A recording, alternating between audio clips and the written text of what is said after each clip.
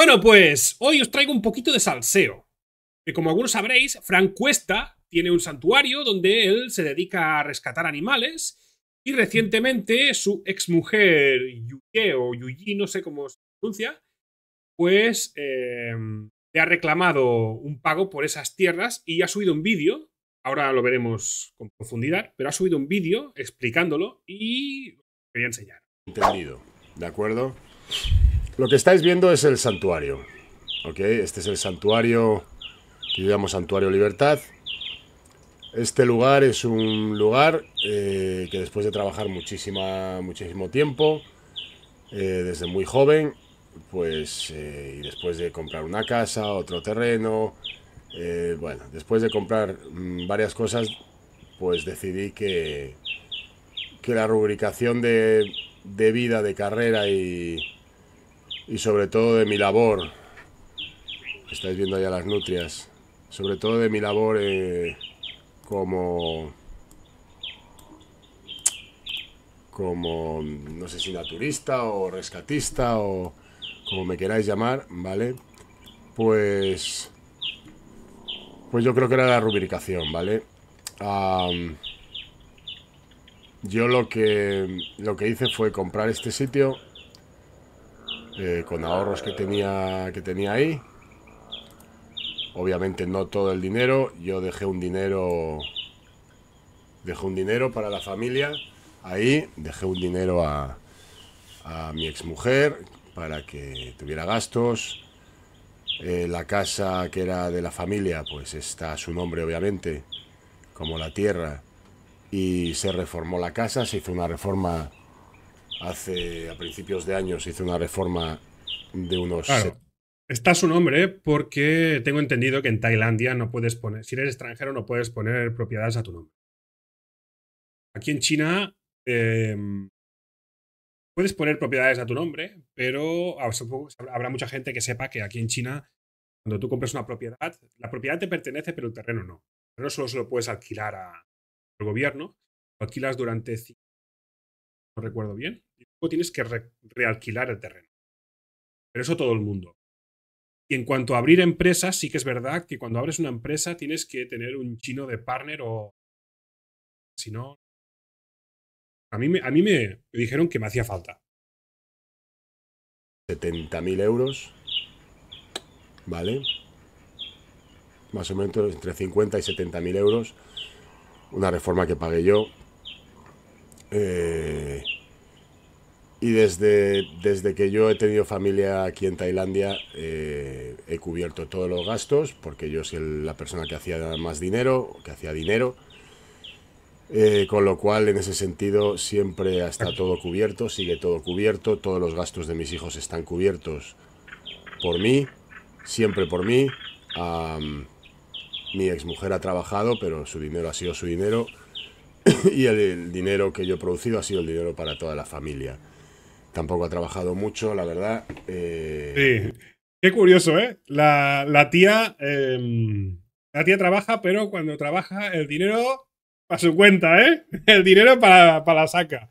Eh, pero el dinero que ganas tú, nos lo gastamos entre todos. Hostia santa. Joder, con la que se fue a juntar el pobre Frank. Y bueno. Pero quiero dejar bien claro que, que esto es como ha sido, como hemos funcionado, ¿no? Nunca ha habido ningún problema de dinero, nunca ha habido ningún problema de, de gastos, de tal. Yo lo he pagado siempre todo. Eh, casado, divorciado, eh, siempre he pagado todo. Eh, he cubierto todos los gastos que hubo que hacer y que hubo que afrontar con el tema de la cárcel, con abogados, con, con visitas, esa es otra, Esa es otra. Yuji estuvo metida, estuvo metida en la cárcel por tráfico. Em, se supone que le encontraron en la maleta que llevaba viaje, se supone que le encontraron restos de polvo blanco. Y, bueno, en Tailandia las leyes en contra del tráfico son potentes. Mm, son potentes y la metieron en la cárcel. No sé cuánta cantidad. Frank siempre la defendió, dijo que fue un montaje, que no sé qué, no sé cuántos. Em, yo creo que ahora se expone más que nunca esta mujer y es que tiene, una pinta muy, Tiene toda la pinta de que a esta tía le va el vicio. ¿Sabes? Gente, con contratación de gente para, para que me ayudase durante ese tiempo. Todo eso ha sido, todos esos gastos los he sufragado yo eh, desde el principio hasta hoy. ¿De acuerdo? Am, teníamos una relación bastante buena, yo pensaba, bastante cordial, buena, no cordial, buena. Y hace un tiempo la cosa empezó a cambiar, la relación empezó a cambiar, yo no sé si coincide en el tiempo con, con que tiene una nueva pareja, yo supongo, no tengo nada en contra de la nueva pareja, es una, es una chica trans, hombre o como se, no al revés, pero bueno. Ay, mira, no quiero, no quiero reírme de este tema porque es una putada, una putadísima lo que está pasando a Frank. Pero es que como antes he dicho lo, de, lo del vicio, bueno, pues ya, ya está confirmado. Que lo del vicio está impregnado en esa mujer. y mm, no tengo nada en contra de, de esta persona, pero coincide en el tiempo que de repente, eh, pues no sé, la relación pues, pues ha ido enfriando hasta un momento en el cual pues hemos llegado a una, un desacuerdo, vamos a llamarlo, en el cual no acuerdo. pues ni la casa ni nada se quiere poner a nombre de mis hijos. Ya viendo que la casa no se ponía a nombre de mis hijos, empecé a pensar, hostias, eh, a ver qué pasa con la tierra. Quiero que entendáis que desde siempre, mis hijos lo saben porque mis hijos están bastante, no bastante cabreados, están bastante decepcionados con todo esto. Siempre se dijo que la casa, que la tierra, que todo se ponía a nombre de ellos.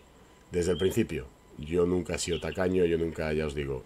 Claro. Pero el acuerdo es que No, que aparte, eh, aunque es verdad que él no pueda poner cosas a su nombre, a nombre de sus hijos sí, porque son ingleses, eh, aún así, y la mujer que piense que, bueno, poner la, tierra a nombre de los, hijos eh, o ponerla a nombre. Aún así, que lo pagó todo Frank. Y aparte, ya te estás quedando con la casa. Es lo que vas a usar. O sea, es pedir por pedir esto. Se ponía a nombre de ellos porque teóricamente su madre y yo. Aparte es muy familiar esto de dejárselo que a los hijos. Y todo lo que hayamos hecho, todo lo que se haya conseguido a nivel patrimonial dentro de la familia, pues lo normal es que lo los pongas a hijos. nombre de tus hijos. Ese es el Claro. acuerdo que nosotros teníamos como familia. Si no, cuando te mueres, ¿De acuerdo? ¿a quién se lo vas a dejar? Que estés casado, da igual que estés divorciado, siempre serás una familia porque siempre Aparte que Fran. eh, Fran. Dios, Dios quiera que no, pero Fran la puede palmar en cualquier momento haciendo lo que hace. Pero si hace nada le pegaron un una cornada aquí en el estómago, un ciervo ahí en el santuario, un poco más y se queda ahí. O sea, ya no digo ni serpientes. Las serpientes él parece que ser que es inmune al veneno de serpiente, pero. eh, pero cualquier cosa. Cualquier cosa, un avestruz incluso. Cualquier cosa. siempre serás el padre o serás la madre y seréis los hijos. Em, llegado el momento, la casa no se va a poner a nombre de ellos, eso ya lo sé. Em, ha habido varios eventos que no me han gustado nada y lo tengo que decir antes de decir todo. Quiero decir varios eventos. Ha habido una persona que se llama, que la llaman la tía Joy, Pa Joy, que ha cuidado de mis hijos em, como si fuera una tía desde unos año y algo antes de que yo entrase en la cárcel. Ha sido una persona muy importante en la vida de mis hijos.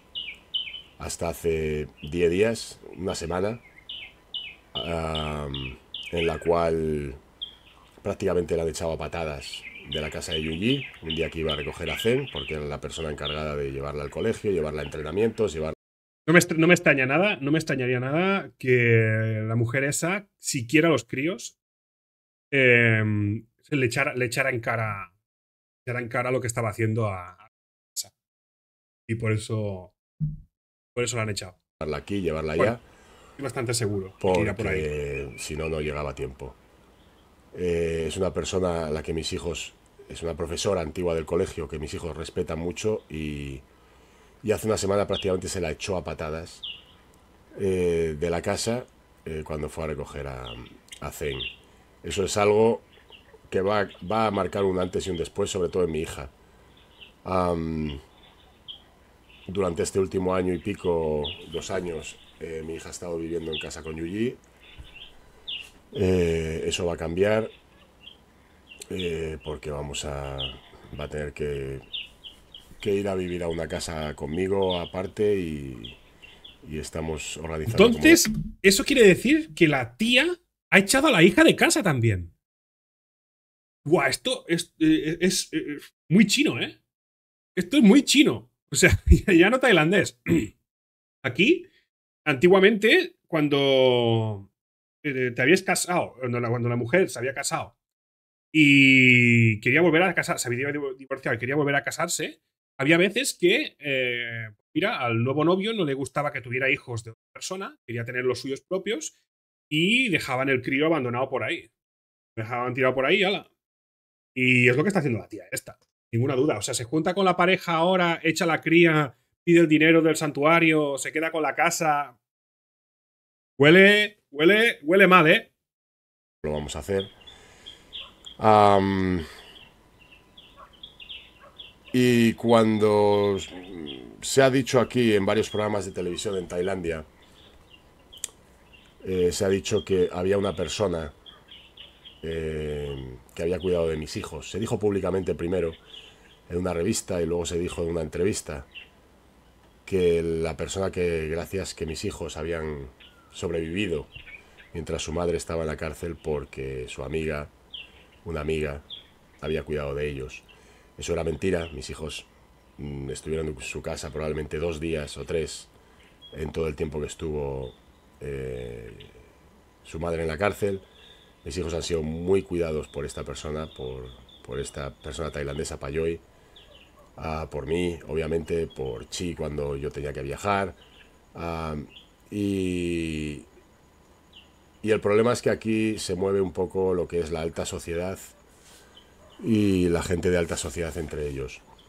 Yo hasta ahora he estado callado durante muchísimos años, no voy a meterme en temas de minucias y estupideces porque se podría meter en muchas cosas y, no es lo importante. Lo importante aquí es dejar bien claro eh, que yo he cuidado de esta familia durante todo el tiempo que esta familia ha funcionado, que voy a seguir cuidando obviamente de mis hijos porque soy padre y que para mí lo más importante dentro de la familia eh, son mis hijos. Um, lo que ha pasado con el tema de la tierra eh, es que hemos llegado a un acuerdo. Bueno, no hemos llegado a un acuerdo. A mí se me ha dado un ultimátum de o lo tomas o lo dejas. ¿De acuerdo? Eh, y obviamente no quiero perder este santuario porque sería, sería un, una conmoción total. Marrón. No para mí, pero para muchísimos animales, porque habría que cazarlos. No, no, para él también. Básicamente meterlos en cajas y llevarlos a diferentes centros de rescate hasta que yo pudiese crear un santuario. Los animales son animales de costumbres, de olores, y los animales en este sitio que es enorme ya tienen sus zonas, ya tienen sus olores, ya tienen sus zonas de refugio, tienen sus zonas de donde paren, donde descansan, donde se esconden, donde comen, donde cazan.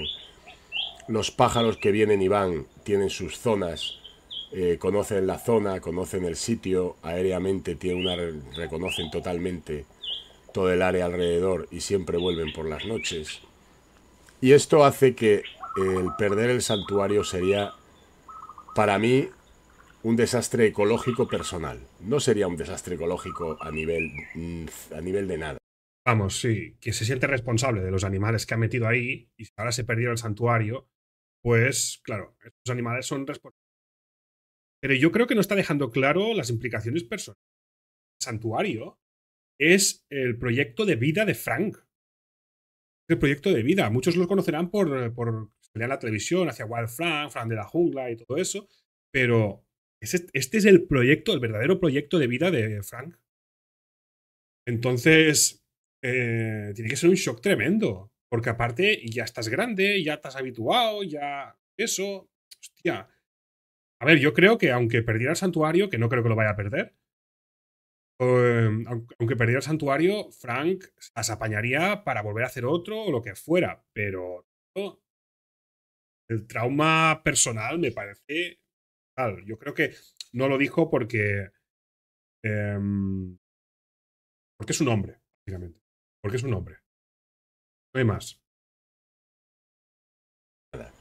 Pero para mí sería un desastre ecológico brutal porque yo he sido el que ha puesto aquí a estos animales y, y realmente y realmente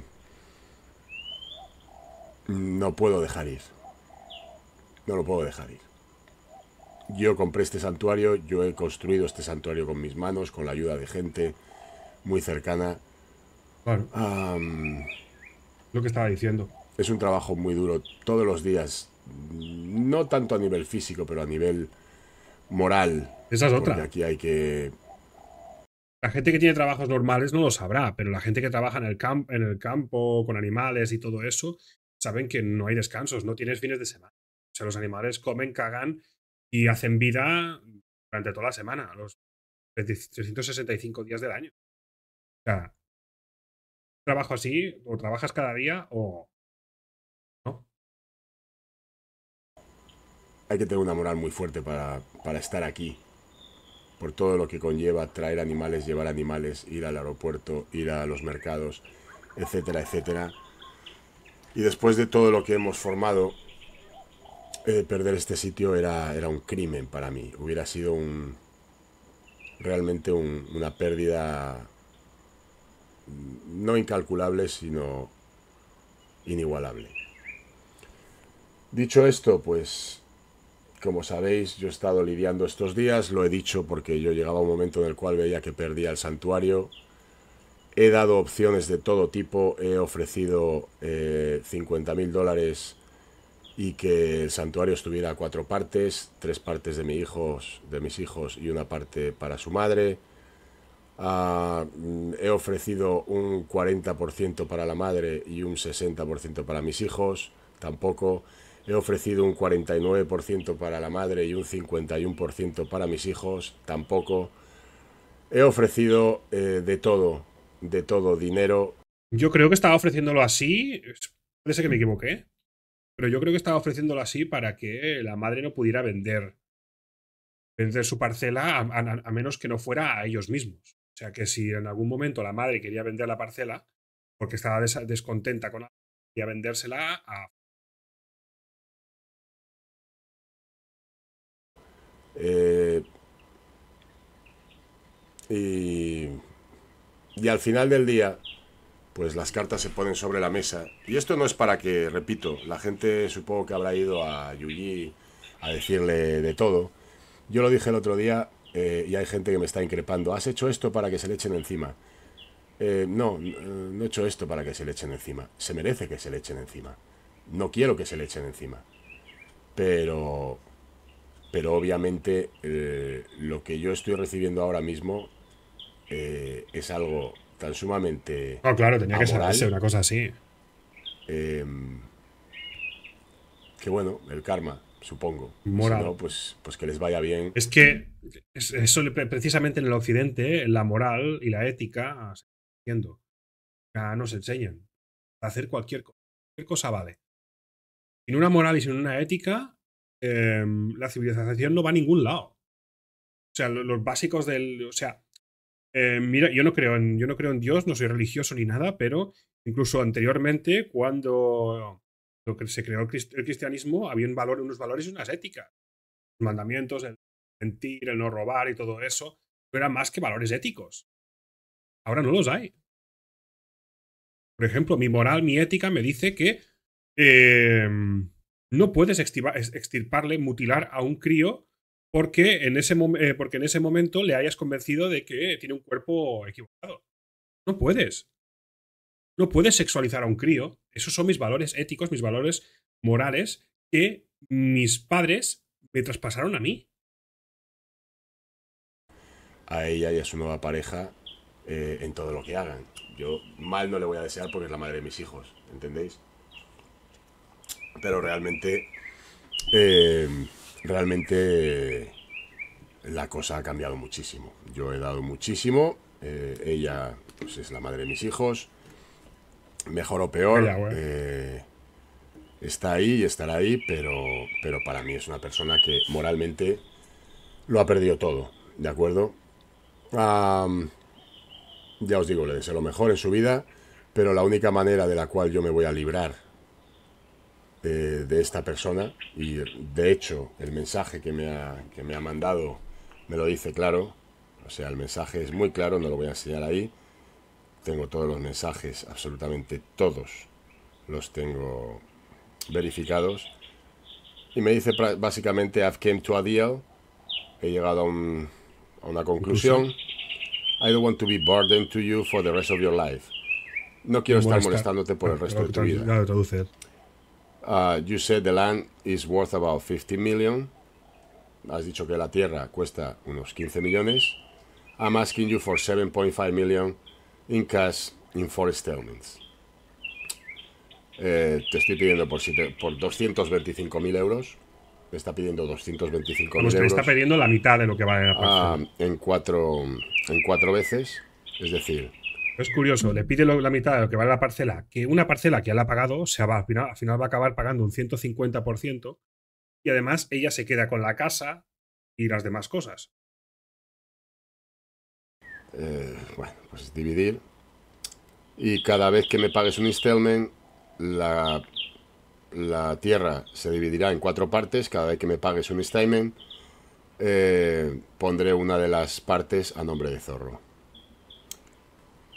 Y como la tía quiere hacerle daño aquí, imagínate que, que Frank compra el Stelman, ¿vale? El, el 25% de la tierra y luego el 70%. Entonces le piden más dinero. ¿Qué puede hacer Frank?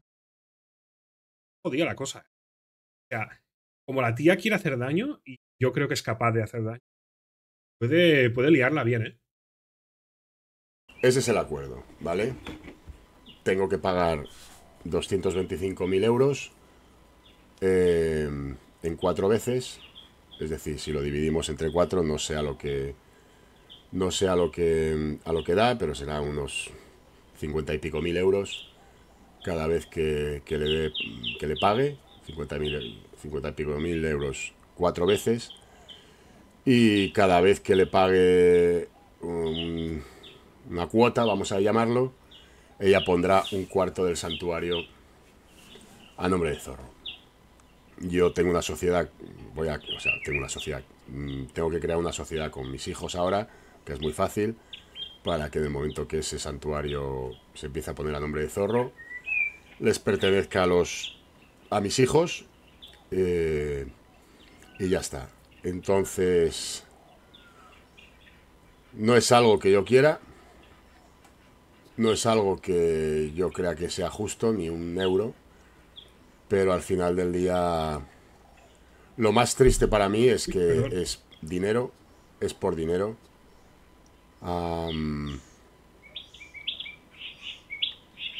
Es Y por por dinero. mí. Pues por- Al final, con ese dinero... Aquí lo iba a decir Frank, ¿eh? Aquí lo iba a decir, ¿eh? Yo creo que estaba pensando, es por dinero y es por vicio, iba a decir. Es por vicio.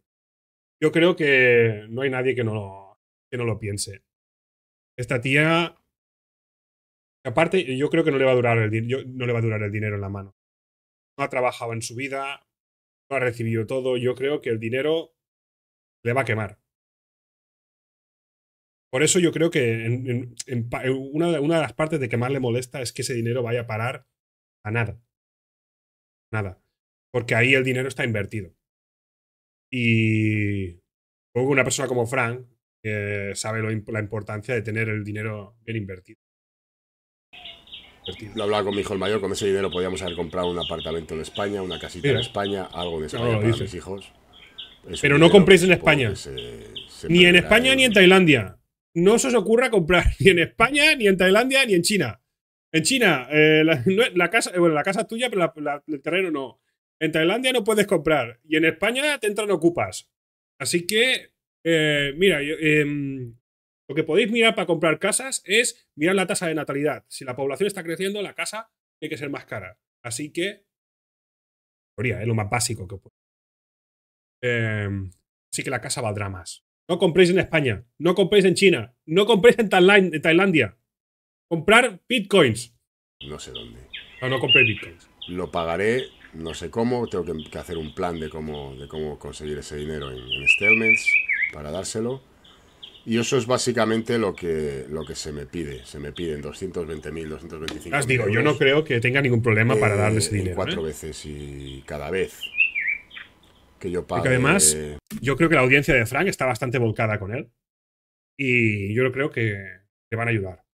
Pero a mí lo que me preocuparía es que una vez le haya pagado eh, el, 25, o sea, el 25%, ahora diga, o se la venda a alguien más, o diga, ahora quiero más dinero. Porque en ese caso, ¿qué hace? Claro. No sé que esté firmado ya, ya de entrada, pero no sé.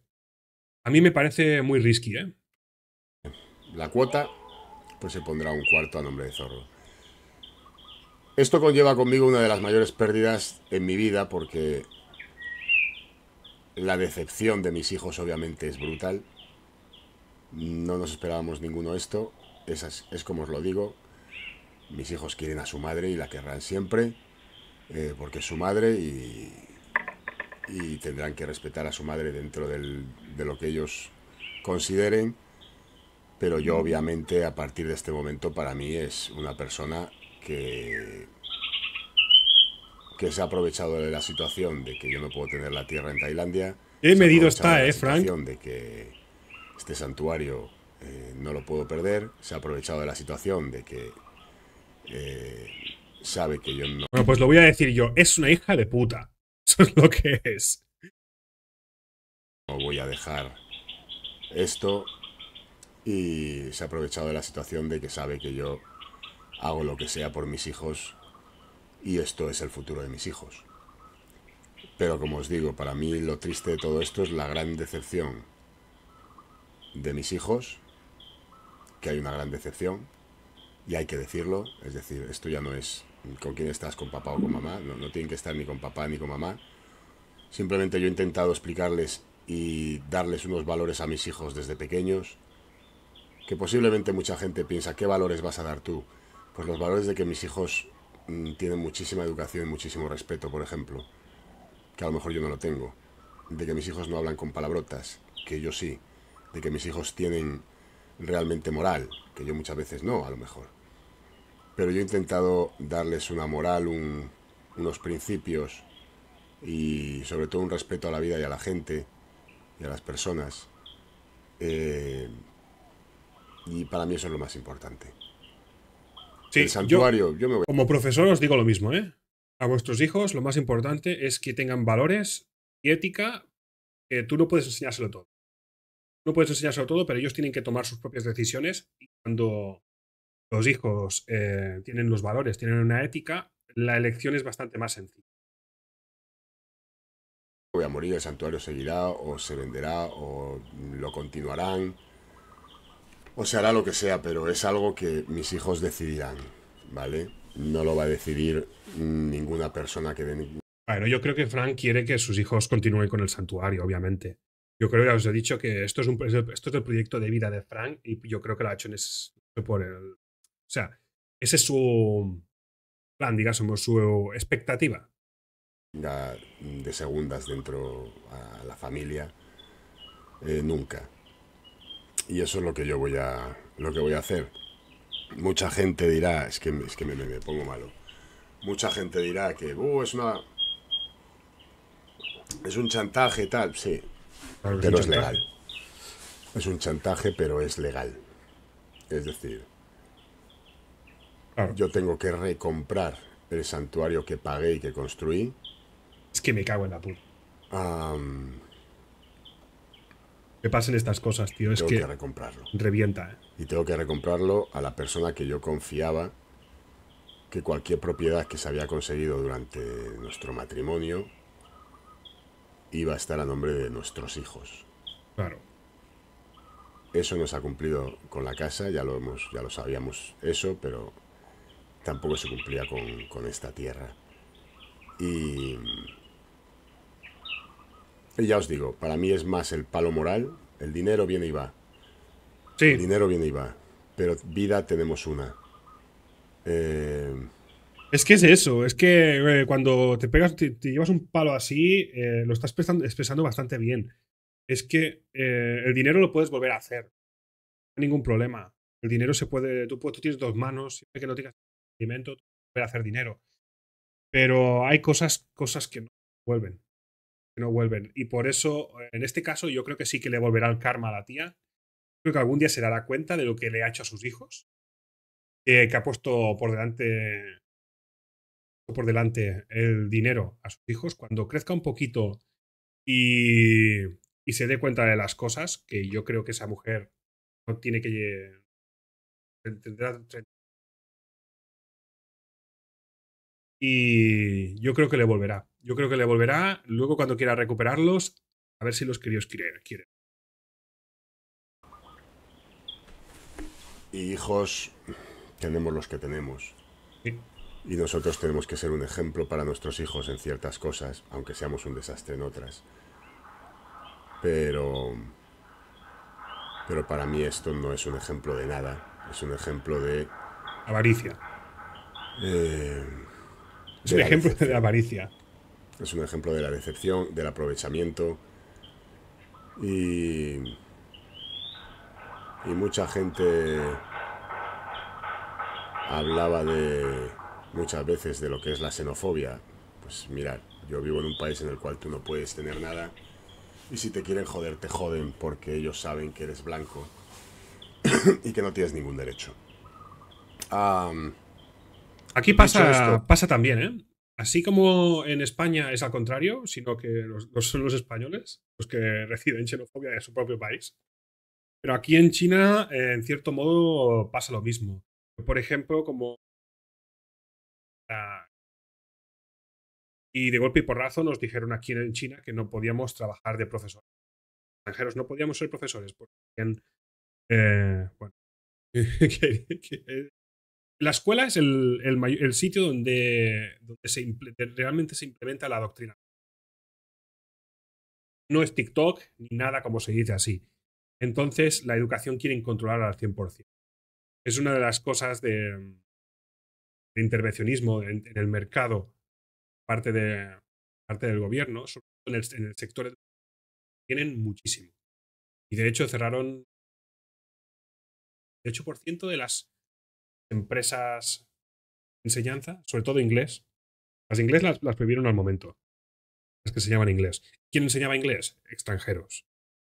Lo hicieron a propósito. Y bueno, y cuando hubo el, el bicho, el bicho 23, eh, todos recibieron máscaras, los extranjeros no podíamos recibir máscaras, esas cosas.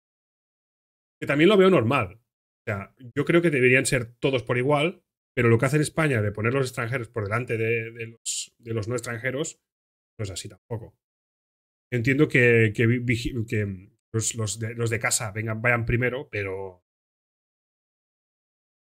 luego cuando vas fuera no te interesa. No hay mucho que, pueda decir, os puedo leer porque sé que mucha gente ha estado preocupada, mucha gente ha estado pensando en, en cosas. Yo os digo lo mismo, por favor, aprovecho para deciros el que pueda que siga este canal de, de Kik, que se haga miembro si puede, que, que Y que se ha apoye, cambiado, ¿eh? ya no está en la plataforma Voy morada, a intentar hacer cuantos más directos eh, pueda sino que está en la plataforma verde. todos los días porque tengo que hacer dinero. Eh, tengo que hacer dinero de alguna manera, tengo que pagar por, por esto. Eh, y tengo un tiempo determinado para hacerlo. Tengo un tiempo determinado. Así que... Así que yo lo único que os pido es mirar los vídeos, eh, haceros miembros del canal de YouTube, haceros aquí miembros o haceros lo que sea, ¿vale? Em, porque yo ahora mismo estoy abatido, yo hoy, hoy estoy jodido, estoy abatido, estoy roto, es decir, estoy contento, de alguna manera, sí, porque por lo menos ya sé a lo que me atengo, ¿no? Pero obviamente estoy roto. Que van a salir y van a decir cualquier cosa, se puede decir cualquier cosa sobre mí. Mm, A mí, llegado a este punto, me da Yo creo igual. que le da ya un no es poquito una igual, pelea. ¿eh? Esto ya no es una pelea de si tú hiciste, tú dijiste, tú tal, tú cual. Decían que se había puesto eh, la pareja, la nueva pareja de Yuji había puesto un, un TikTok diciendo, di la verdad, di todo. Aquí no hay verdad. Aquí la única verdad es cuando mis hijos están totalmente decepcionados, totalmente abatidos y totalmente indignados por esta situación porque no entienden, no entienden que el dinero con su nueva pareja sea más importante que ellos. No lo entienden, no Ah. llegan a comprender que, que el dinero y la nueva pareja Y ya para un crío es difícil entender los estén por divorcios. encima de sus propios hijos. No lo entienden, no lo van a entender. Y, y yo siempre digo lo mismo. Mm,